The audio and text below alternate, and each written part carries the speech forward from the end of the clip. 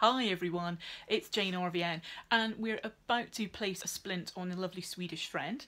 I have my able assistant in the corner, so a little bit overstating your part completely. A little bit about using your assistant.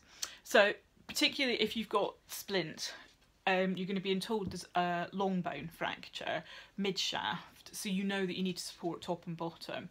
Don't assume that your assistant will know what to do although they are there to help you, kind of assume, kind of like you do with the examiner, that they have no knowledge whatsoever. So if I say to my assistant, please can you help me hold the leg, your assistant may say, how would you like me to hold? And that's absolutely fine because then I can say I would like you to support the elbow and the joint below because there's a fracture here. Okay. And that sets us up nicely because you are going to be much faster at bandaging if you have assistant. I have padding for toes, one, two, three, and thank you, kind assistant.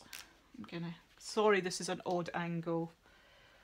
It's not my best bandaging because I'm doing it for the camera. Thank you, assistant. You are waiting to take the leg back, which is very nice. And again, up the leg. Thank you. If you could just take that end, thank you. Because then although I'm supporting the leg, I don't need to do all of the work. And you can see that is a half to two thirds, in fact, a little bit more. And that is how quick you can bandage that leg. And there's a reasonable tension on there, but as I said in the previous video, this is the bad boy that does your tension. So I'm going to place the splint now, which you're going to have to help hold. So it's going to go here. If you can just let me see the paw, thank you and if you can hold that in and again I'm going to go toe and round. Thank you assistant. And this is where I really need to start thinking about oops bit of Soffban coming out there.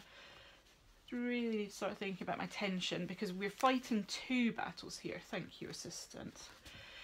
Because we're fighting the one battle which is just we need to conform.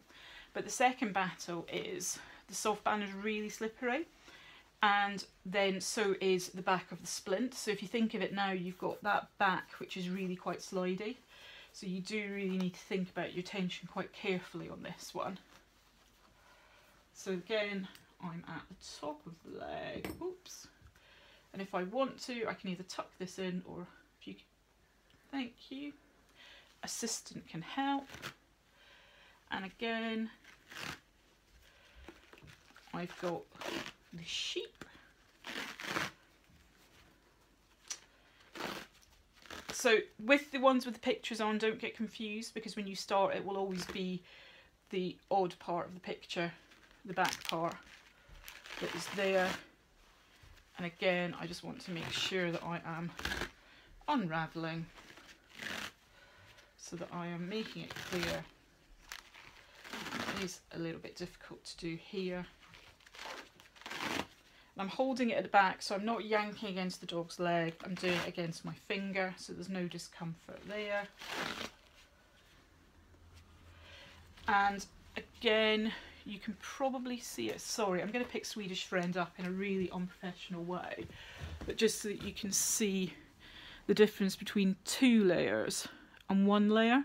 So you want all your bandage to look that colour. You don't want to see the white coming through in the back at all because then that's one layer and you haven't achieved your half to two thirds overlap. Sorry, Swedish friend. Back to the table we go. Assistant, thank you for your continued assistance. Thank you, Swedish friend.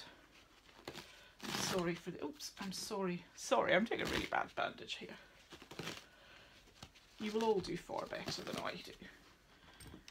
And then final. And tension check.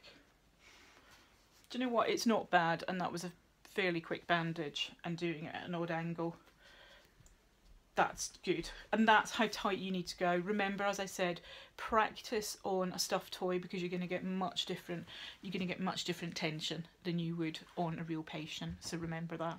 So that is a quick guide to doing a splint. Thanks for watching